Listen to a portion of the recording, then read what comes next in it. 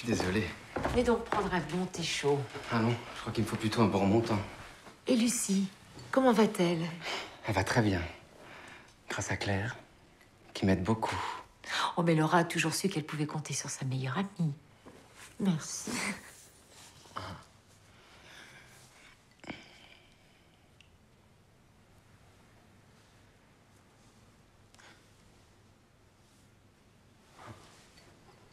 Bon, euh, je crois que je vais y aller, j'ai des courses à faire. Déjà? Je dois aller rejoindre Gilles pour le déjeuner. Bon, enfin ma chérie. Et embrasse ton adorable mari. D'accord. Je, je te raccompagne.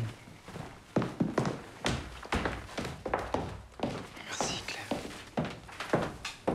J'ai oublié de te dire une chose.